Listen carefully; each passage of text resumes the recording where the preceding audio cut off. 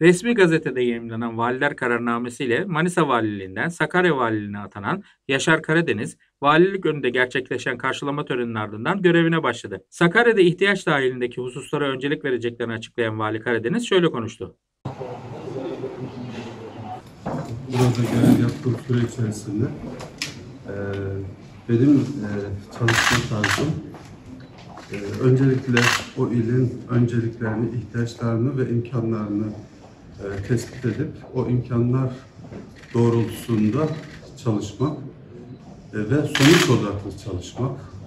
Bu iki husus önemli. Eee, yoksa e, bir şeyler yapıyoruz ama sonuç alamıyorsak o da e, verimli bir çalışma değildir. Dolayısıyla bu iki prensip içerisinde e, yol alacağız inşallah.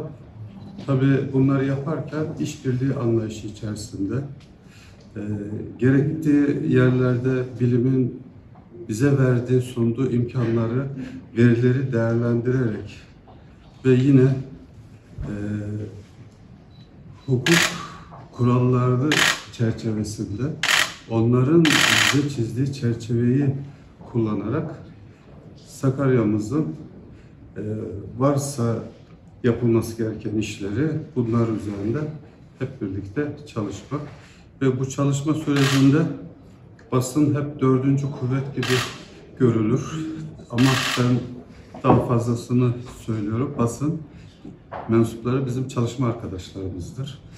Ve e, bu şekilde dediğim gibi işbirliği içerisinde çalışacağız. Hepinize e, buraya kadar gelip yorulduğunuz için teşekkür ediyorum. E, ve bundan sonraki döneminizde sizlere de başarılar diliyorum. E, öncelikle bütün Türkiye'nin bildiği 99'da büyük bir e, deprem e, yaşamış olması, Gölcük ve Düzce depremlerinden etkilenmiş bir ilimiz. Bu anlamda e, artılar da var. E, yeni yapılaşma imkanı bulmuş aslında.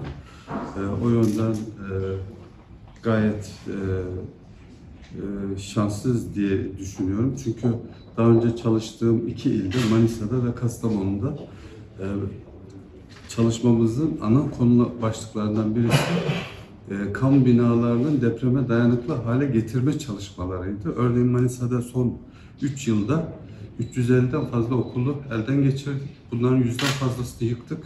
E, bir 60 kadarına güçlendirme yapıldı. E, öyle tahmin ediyorum ki burada bu aşamaların büyük ölçüde aşılmıştır. Yine eksikler varsa da onlar da bundan sonra elbette gidereceğiz. E, Sakarya hem tarım hem sanayi olarak Türkiye'nin üreten şehirlerden birisi. Yine Sakarya e, ülkemizde biliyorsunuz bazı iller daha fazla tüketir ürettiğine göre. Bazı illerde e, daha fazla üretir. Sakarya üreten illerden bu anlamda. Ve bu üretimi de elbette ki e, e, nüfusuna göre e, ilk 10'da ihracat olarak şu anda 8. sırada.